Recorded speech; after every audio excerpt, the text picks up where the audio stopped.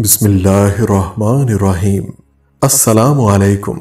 दरवेश टीवी के मुआज़ खातिन हजरात, बनी इसराइल में एक शख्स बहुत मालदार और तवंगर था, जिसका नाम आमील बताया जाता है। उसकी कोई नरीना औलाद न थी, सिर्फ़ एक लड़की थी और एक भतीजा था। भतीजे ने जब देखा कि बोड़ा तो मरता ही नहीं तो उसने विरासत के लालच में सोचा कि मैं ही क्यों ना इसे मार डालूं।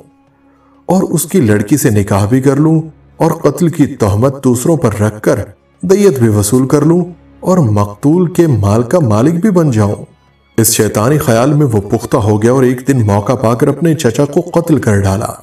बनी इसराइल के अच्छे लोग इन दो कौमों के झगड़ों बखेड़ों से तंग आकर यकसू होकर उनसे अलग एक और शहर में रहने लगे और शाम को अपने किले का फाटक बंद कर दिया करते। उस भतीजे ने अपने चचा की लाश को ले जाकर उस कला के फाटक के सामने डाल दिया और यहाँ आकर अपने चचा को ढूँढने लगा। फिर दुहाई मचा दी कि मेरे चचा को किसी ने मार डाला।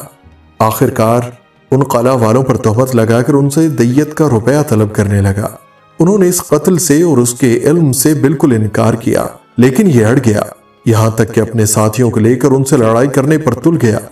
ये लोग आजिज आकर हज़रत मूसा के पास आए और वाक़ अर्ज़ किया कि, या नबी अल्लाह ये शख्स खाम खा हम पर एक कत्ल की तहमत लगा रहा है। हालाँकि हम बरी जिम्मा है। हज़रत मूसा सलाम ने अल्लाह ताला से दुआ की कि वहाँ से वही नाजिल हुई कि इनसे कहो कि गाय जवाह करें। उन्होंने कहा, ए अल्लाह के नबी, कहा कातिल की तहकीक और कहा आप गाय के जवाह का हुक्म दे रहे हैं? क्या आप हमसे मज़ाक करते हैं? मूसा सलाम ने फरमाया आउजुबिल्ला अल्लाह के अहकाम में मज़ाक जाहिलों का काम है।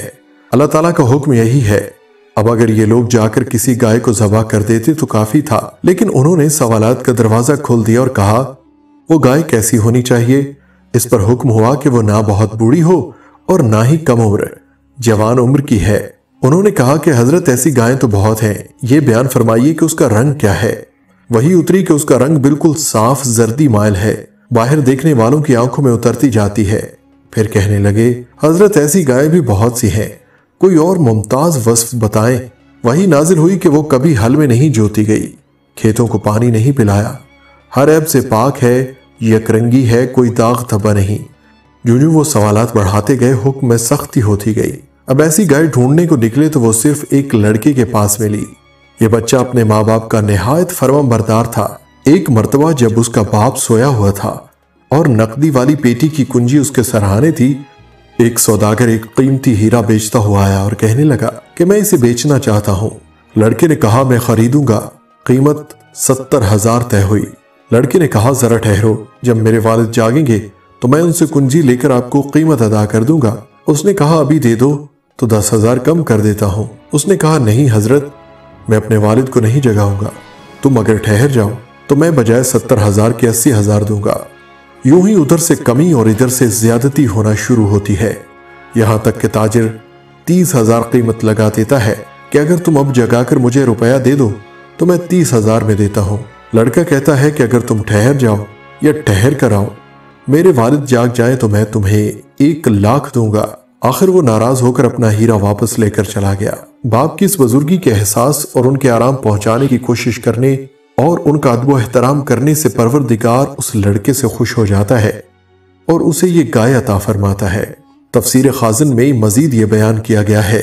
उस लड़के का बाप बनी इसराइल का एक बहुत ही नेक और साले बुज़ुर्ग था। और उनका एक ही बच्चा था जो नाबालिग था, और उनके पास फकत एक गाय की बच्चिया थी। उन बुज़ुर्ग ने अपनी वफात के करीब उस बच्चिया को जंगल में ले जाकर एक झाड़ी के पास ये कहकर छोड़ दिया कि, या अल्लाह, मैं इस बच्चिया को उस वक्त तक तेरी अमानत में देता हूँ कि मेरा बच्चा बालिग हो जाए। इसके बाद उन बुज़ुर्ग की वफात हो गई और बच्चिया चंद दिनों में बड़ी होकर दरमियानी उम्र की हो गई, और बच्चा जवान होकर अपनी माँ का बहुत ही फर्मा बरदार और इंतहाई नेकूकार हुआ। उसने अपनी रात को तीन हिस्सों में तकसीम कर रखा था। एक हिस्से में सोता था, एक हिस्से में इबादत करता था और एक हिस्से में अपनी माँ की खिदमत करता था और रोज़ाना सुबह को जंगल से लकड़ियाँ काट कर लाता और उनको फरोख्त करके एक तिहाई रकम सदका कर देता और एक तिहाई अपनी जात पर खर्च करता और एक तिहाई रकम अपनी वालिदा को दे देता। एक दिन उसकी वालिदा ने कहा ए नूरे नज़र तेरे बाप ने तेरे लिए फला जंगल में खुदा के नाम पर एक बछड़ी छोड़ी थी। वो अब जवान हो गई होगी। अल्लाह ताला से दुआ करो कि वो तुझे अता फरमाए और तू उसे जंगल से ले आ। लड़का जंगल में गया और उसने गाय को जंगल में देखा और वालिदा की बताई हुई अलामतें उसमें पाई और उसको अल्लाह ताला की कसम देकर बुलाया तो वो हाजिर हो गई। वो जवान उस गाय को वालिदा की खिदमत में लाया। वालिदा ने बाज़ार में जाकर तीन दिनार पर फरोख्त करने का हुक्म दिया और ये शर्त की कि सौदा होने पर फिर उसकी इजाज़त हासिल की जाए। उस जमाने में गाय की कीमत उन अतराफ में तीन दिनार ही थी। नौजवान जब उस गाय को बाज़ार में लाया तो एक फरिश्ता खरीदार की सूरत में आया और उसने गाय की कीमत छह दिनार लगा दी। मगर यह शर्त रखी कि नौजवान अपनी वालिदा से इजाज़त नहीं लेगा। नौजवान ने यह मंजूर न किया और वालिदा से तमाम किस्सा कहा। उसकी वालिदा ने छह दिनार कीमत मंजूर करने की तो इजाज़त दे दी, मगर बेचने में फिर दोबारा अपनी मर्ज़ी दरियाफ्त करने की शर्त लगा दी। नौजवान फिर बाज़ार में आया। इस मरतबा फरिश्ते ने बारह दिनार कीमत लगाई और कहा कि वालदा की इजाज़त पर मौकूफ न रखो। नौजवान न माना और वालदा को इतला दी। वो साहिब फरासत औरत समझ गई कि यह खरीदार नहीं, कोई फरिश्ता है। जो आजमाइश के लिए आता है। बेटे से कहा कि अब की मरतबा उस खरीदार से यह कहना कि आप हमें इस गाय के फरोख्त करने का हुक्म देते हैं या नहीं। लड़के ने यही कहा तो फरिश्ते ने जवाब दिया कि अभी इसको रोके रहो। जब बनी इसराइल खरीदने आए तो उसकी कीमत ये मुकर करना कि इसकी खाल में सोना भर दिया जाए। नौजवान गाय को घर लाया और जब बनी इसराइल जुस्तजू करते हुए उसके मकान पर पहुँचे तो यही कीमत तय की। और हज़रत मूसा वसलाम की जमानत पर वो गाय बनी इसराइल के सपुर्द की। जब बनी इसराइल इस किस्म की गाय ढूँढने निकलते हैं तो सिवाय उस लड़के के और किसी के पास नहीं पाते। उससे कहते हैं कि इसे एक गाय के बदले दो गाय ले लो। ये इनकार करता है। फिर कहते हैं, तीन ले लो, चार ले लो।